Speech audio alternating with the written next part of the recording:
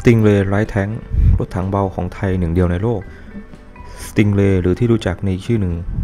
Commodore Stingray เป็นรถถังเบา Light Tank ที่ออกแบบและผลิตโดยบริษัท Texton Marine and Land System ชื่อเดิม Cadillac Gate เดิมรถถังคันนี้ถูกสร้างขึ้นเพื่อเข้าแข่งขันในโครงการจัดหารถถังเบารุ่นใหม่ของกองทัพบบกสหรัฐในช่วงปี 1980 ซึ่งในขณะนั้นเพื่อทดแทนรถถังเบารุ่นเก่าอย่าง M551 เชอริดาน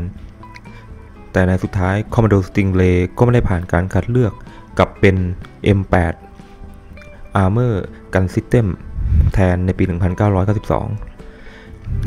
หลังจากที่กองทัพบบกสหรัฐใช้เวลาตัดสินใจอยู่นานหลายปี Stingray มันได้รับการออกแบบมาเป็นพิเศษ เพื่อให้ใช้ส่วนประกอบที่มีอยู่ของยานเกาะต่อสู้ของอเมริกา อื่นๆ ให้ได้มากที่สุดเพื่อลดต้นทุน Stingray เป็นโครงการร่วมทุนของบริษัทเอกชนที่มุ่งเป้าไปที่การส่งออก ซึ่งในปี 2020 Texton ยังคงจดทะเบียนชื่อ Stingray ไว้ โดยมันถูกส่งออกเพื่อใช้งานโดยกองทัพไทย ซึ่งยังเป็นผู้ใช้เพียงรายเดียวในโลก Stingray ได้รับการพัฒนาในช่วงทศวรรษ 1980 โดยเป็นการร่วมลงทุนของเอกชนโดย Cadillac Gate Texton รถต้นแบบคันแรกเสร็จสมบูรณ์ในปี 2528 และในปี พศ 2531 กองทัพบกไทยได้นำเข้าประจำการ Stingray Light Tank ด้วยจำนวนที่จัดซื้อถึง 106 คัน สัญญานี้มีมูลค่า 150 ล้านดอลลาร์สหรัฐ Cadillac Gate ให้ความช่วยเหลือในการซ่อมบางส่วนหลังจากที่ได้รับรายงานจากไทยว่าตัวถังมีรอยแตกร้าว ซึ่งหลังจากเข้าประจำการไม่นาน ทั้งตัวถังและบริเวณเกาะ จึงทำให้สื่อมวลชนไทยในสมัยนั้นออกข่าวโจมตี Commodore Stingray ว่าเป็นของห่วยไม่ได้มาตรฐาน ชนิดที่เรียกว่าไม่มีชิ้นดี แม้ทางบริษัทผู้ผลิตจะช่วยปรับปรุง ซ่อมแซมแก้ไขจนกลับมาใช้งานได้ดีดังเดิมแล้วก็ตามทำเอากองทัพไทยในสมัยนั้นเข็ดหลาบในปี 1992 การพัฒนาสติงเลย์2ได้เริ่มพัฒนาขึ้น เสร็จสิ้นในปี 1994 โดยได้รับการส่งเสริมการตลาดไปยังประเทศที่เป็นมิตรเช่น มาเลเซีย ซาอุดิอาระเบีย และไต้หวันจนถึงปี 2003 Cadillac Gate Texton ได้ส่งสติงเลเวอร์ชันหนึ่งสำหรับโครงการ Armor Gun System ของกองทัพสหรัฐ ติดป้อมปืน LAV 105 ของกองทัพบบก นาวิกโยธินในอดีต มันมีรูปแบบที่ค่อนข้างธรรมดากับลูกเรือ 4 คน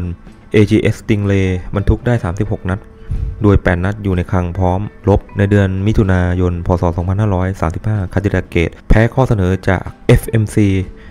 ในปี 2010 Federal Defense Industry ได้ประกาศว่าพวกเขาได้ทำข้อตกลงกับ Texton Marine and Land System เพื่อจัดหาชิ้นส่วน หลังจากการขายที่ได้รับอนุญาตและและความช่วยเหลือประเภทอื่นๆสำหรับ Stingray เนื่องจาก FDI มีข้อมูลด้านเทคนิคสำหรับชิ้นส่วนอะไรของ Stingray Stingray มี 2 รุ่นได้แก่ Stingray มีปืนใหญ่ 105มิลลิเมตรความเร็วในการขับเคลื่อน 71 กิโลเมตรต่อชั่วโมง ลุยน้ำได้ลึก 3.5 ฟุต หรือ 107 เซนติเมตร และสามารถขนส่งทางอากาศได้ด้วยเครื่องบินบรรทุกแบบ 430 Stingray 2 เป็นรุ่นอัปเกรดของ Stingray ซึ่งพัฒนาโดย Cadillac Gate เพื่อบรรยานยนต์หุ้มเกาะ AFV ของบริษัทเอกชนสำหรับตลาดส่งออก เกาะพื้นฐานของรถถังเบาแม้ว่าจะบาง แต่ก็เพียงพอสำหรับบทบาทสนับสนุนการยิงของทหารม้า การลาดตระเวนหรือทหารราบ มันปกป้องผู้โดยสารจากเกาะ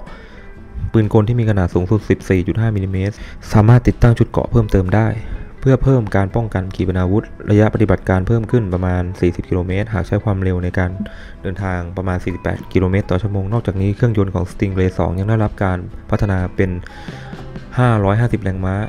อาวุธหลัก Stingray คือปืนยาวไรเฟิล Royal Ordnance L7 105มิลลิเมตรของอังกฤษมีกำลังหดตัวต่ำ LRF ที่ติดตั้งอยู่ในป้อมปืนทำมุมอย่างดีและขับเคลื่อนด้วยระบบไฮดรอลิกไฟฟ้า ขนาดของป้อมปืนของรถถัง Stingray ได้รับการออกแบบ เพื่อให้สามารถนำไปติดตั้งกับรถถัง M41 Walker Bulldog และ M551 Sheridan ซึ่งเป็นการออกแบบโดยจงใจ พื่อเป็นการประหยัดงบ คุณลักษณะทั่วไป น้ำหนัก 22.6 ตัน ความยาว 9.3 เมตร ความกว้าง 3 เมตร ความสูง 2.7 เมตร ลูกเรือ 4 นาย ผู้บังคับการพลขับพลปืน เจ้าหน้าที่วิทยุ เกราะหนา 23มิลลิเมตร อาวุธหลัก ปืนใหญ่รถถัง L7 105มิลลิเมตร อาวุธรองปืนกลขนาด 7.62มิลลิเมตร และปืนกล AA ขนาด 12.7มิลลิเมตรเครื่องยนต์ Detroit Diesel Allison 8V 92 TA เป็นเครื่องยนต์ V8 2 จังหวะระบายความร้อนด้วยน้ำเทอร์โบชาร์จกำลัง 535 แรงม้าที่ 2,300 รอบต่อนาที ระยะปฏิบัติการ 480 กิโลเมตร ความเร็วสูงสุด 70 กิโลเมตรต่อชั่วโมง